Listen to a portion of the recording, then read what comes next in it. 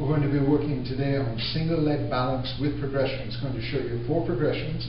First movement we're going to do is going to be standing flat and then raising one knee up to it's in a 90 degree angle. Knee will be aligned with the hip. You look down. You notice today left foot pointed straight ahead, right knee pointed straight ahead, shoulders are back. He's looking straight ahead, belly button is pulled towards the spine. Next progression, if this is too easy for you, all he's going to do is raise the heel up just a little bit off the ground. Belly button is still pulled towards the spine. This is your next level of progression. If that's too easy for you, then we add the Airex pad. So we add the Airex pad. He's going to step up, get his bearings. Again, third level progression, unstable surface, knee is raised to a 90 degree angle, in line with hip, shoulder blades are back. This is your third progression. Single leg balance on the Airex pad. Last level of progression, very difficult.